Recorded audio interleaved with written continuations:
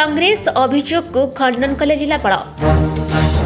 ମାଲକାନଗିରି ଜିଲ୍ଲାପାଳଙ୍କ ବିରୋଧରେ ସଙ୍ଗୀନ ଅଭିଯୋଗ ଅଭିଯୋଗ ଆଣିଲେ କଂଗ୍ରେସ ନେତା ପ୍ରଦୀପ ମାଝୀ ଜିଲ୍ଲାରେ ଥିବା ଲଘୁ ଖଣିଜ ଓଷକୁ ବେଆଇନ ଭାବରେ ଟେଣ୍ଡର ଓ ଫିକ୍ସିଂ କରିଥିବା ଅଭିଯୋଗ ତହସିଲଦାରମାନେ ଯେଉଁମାନେ କି ମାଇନର ମିନେରାଲ କନସେସନ୍ ରୁଲ୍ ଦୁଇଶହ ଷୋହଳ ଅନୁସାରେ ସେମାନେ ହେଉଛନ୍ତି କମ୍ପିଟେଣ୍ଟ ଅଥରିଟି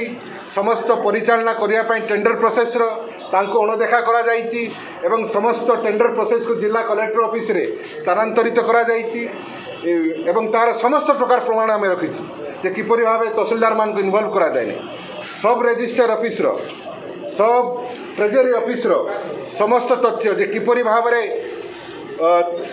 তেইশ তারিখ দিন ଟେଣ୍ଡର ବକ୍ସକୁ ହ୍ୟାଣ୍ଡଓଭର କରାଗଲା ଯେତେବେଳେ କଲେକ୍ଟରେଟ୍ର ଆର୍ ଟି ଆଇ କହୁଛି ଯେ ଟେଣ୍ଡର ବକ୍ସରେ ଯେଉଁମାନେ ଉପସ୍ଥିତ ଥିଲେ ଟେଣ୍ଡର ବକ୍ସ ସିଲ୍ କରିବା ସମୟରେ ଅଫିସରମାନେ ଏବଂ ଟେଣ୍ଡର ଯେଉଁମାନେ ଭାଗ ନେଇଥିଲେ ସେମାନଙ୍କ ସିଗ୍ନେଚର ଥିଲା କିନ୍ତୁ ଯେତେବେଳେ ସବ୍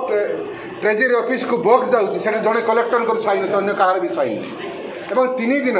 নিয়ম কৌছি যে সিল হেলা পরে সড়ক বক্স ট্রেজেরি অফিসকে যাব সেটার সিল হব কিন্তু তিন দিন পর্যন্ত তাকে কলেক্টর ঘরে রখা যাই এবং সমস্ত কাগজপত্র পরিবর্তন করা যায় তো এই সমস্ত তথ্যের প্রমাণ আম পাখে অছি ডিপার্টমেন্টর লেটর আপনার সমস্ত আরটিআই তথ্য সমস্ত